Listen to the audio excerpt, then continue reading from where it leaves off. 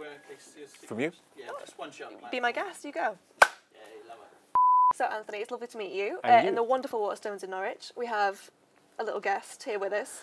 I cannot tell you how knocked out I am by what Waterstones Norwich have done for me and for the book. It's just fantastic. I've done a lot of shops and a lot of uh, talks around the country in the last couple of weeks, but this one already outshines them all. Well, this is all courtesy of the absolutely wonderful Debs, who's just, she's around somewhere, but she has put all this together, and we are absolutely gobsmacked. She should take a bow at the end of this film. Honestly, she's, she's wasted. We need her for set design at Mustard TV, I'm sure. You're here for the signing of Magpie Murders. Tell us a little bit about the book.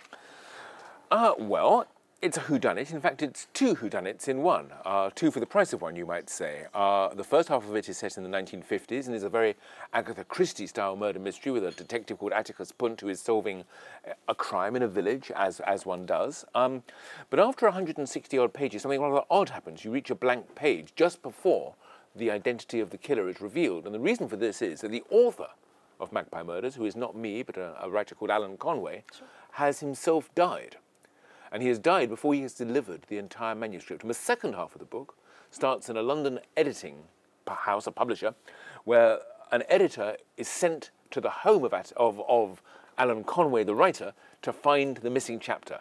And she discovers, first of all, that Alan Conway was himself murdered, and secondly, the secret of who killed him may be contained in the manuscript of Magpie Murders. If that sounds complicated, it is a bit, but actually when you read it, it's far simpler. Trying to describe it to friends of mine who are wondering what I'm reading at the minute is the most difficult thing.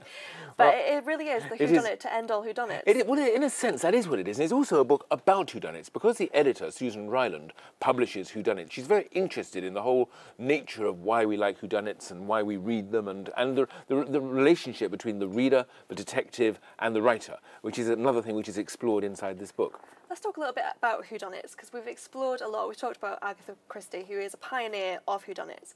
I myself have never been able to commit myself to an Agatha Christie novel, but obviously the classics still exist. They are still recreated. Sophie Hannah's doing Poirot at the minute, mm-hmm. which I can never pronounce. Poirot. No, you got it absolutely right, Poirot? I think, Poirot. yes. Do you think that if an Agatha Christie novel was around today, like newly fresh on the bookshelves, they would be as successful? What a very, very interesting question. I mean, part of the answer is that they are still that successful. I mean, she still sells fantastic quantities of books, and as you correctly said, I mean, her books are being continued by Sophie Hannah. They're being filmed again. The BBC recently put out, and then there were none, very beautifully. They're doing, I think, seven or eight more now. Agatha Christie is as popular now as she always was. The question is, if she was writing now for the first time, would she still be as successful?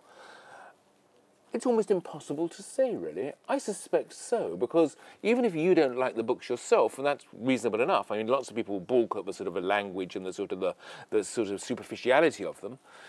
They are still wonderful puzzles. They are still extraordinarily clever, twisty stories, and I think that the answer is that yes. I think she quite probably would be as popular.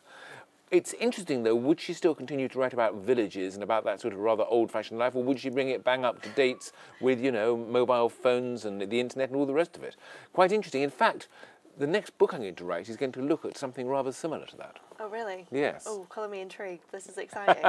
it's fair to say that there is a quite there is a formula to writing a, a novel that is a crime fiction. Do you find as a crime writer, when you are reading a crime novel, that you can guess quite early on what is going on? Um, I do usually guess, not always. never guess, I Sometimes, it. sometimes I guess, uh, but not always. Um, and I don't want to guess. I mean, I like to be baffled. I like to get to the end. I think uh, the, the rule of a good whodunit is that you get to the end without guessing, but when the secret is revealed, you kick yourself. And that, I think, is what I've achieved in a way with. Magpie Murders, because mm. as I've said to you, the, the secret or one of the motives of one of the murders and the identity of the killer is actually guessable from the first page of the book. But this is something I have said before, and so far, although people who've finished the book have agreed that it is just about possible to guess, nobody yet has. And the funny thing is that you said something to me tonight, which was the solution to one of the murders. It You're actually joking. came out of your lips. Oh, don't say that because that that sentence of the first three pages is solvable is the most frustrating thing for me to hear. I have gone over them and over them. You, honestly, you're going to get so many tweets from me when I work this out. It's going to be because you are quite prolific on Twitter. You can you can send me you can send me rude messages in 140 characters. Challenge accepted. I've got this. One thing I did notice about the first three pages is you mention two very notable UEA graduates. You've got Rankin and Ishiguro. Obviously, both very notable Norwich writers. And just to bring it back to Norwich very briefly, UEA has obviously been quite an established um, in the kind of literary field as churning out these wonderful writers. Is UEA still considered quite highly when it comes to creative writing? Oh, definitely. It's one of the great best courses in the world for that, and it's got a number of writers who have been extremely successful. Uh, and I think I even mentioned the, the, the course itself.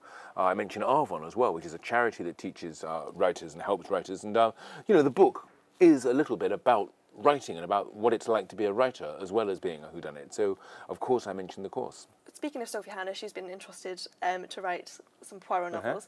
You are the only person who has been entrusted with both Bond and Holmes. That's got to feel pretty special.